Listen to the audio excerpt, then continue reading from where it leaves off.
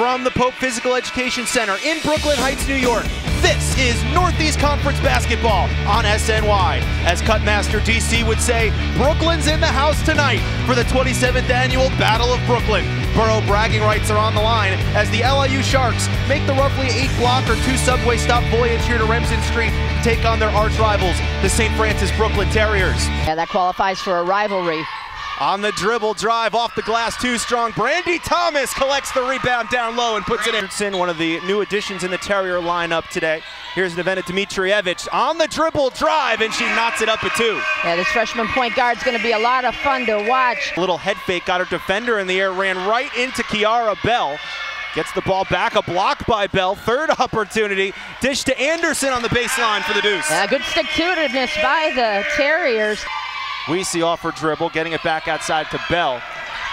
Weesey from deep, drains it from a good four or five feet behind the arc. She's got deep range, but more importantly, Craig, good recognition. Jada Johnson from about 10 feet away, no good. Dmitrievich with the rebound, starting a transition opportunity off the floor.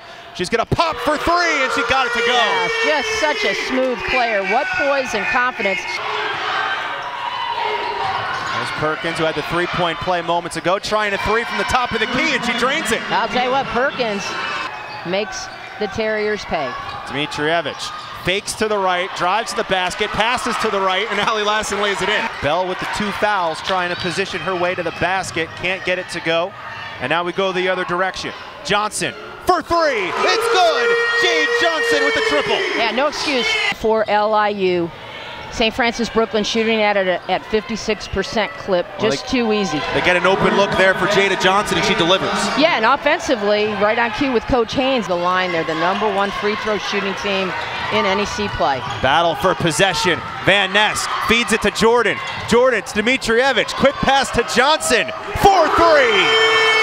Outstanding recognition Here's Masir, three ball from the left side, no good. Offensive rebound by Bell. She drives to the basket, and now a transition opportunity. It's a three on one. Dmitrievich looking to work her magic to Lassen, and it goes in. Again, great decision, good recognition. You want to reward the bigs when they get out. They found a way to get to the free throw line, and they've certainly scored in transition. So advantage offense. There's a good example of some of that depth. By right at W.B. Mason.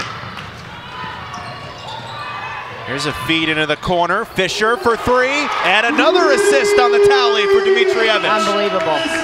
Dmitrievich, a new career high with 14 assists. Her previous career high was 12.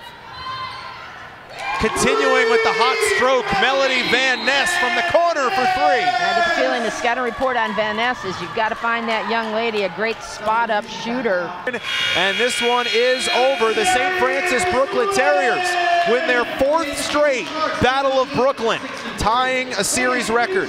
They've won seven out of the last eight, and they pick up their first NEC win of 2020, 88 to 63 the final.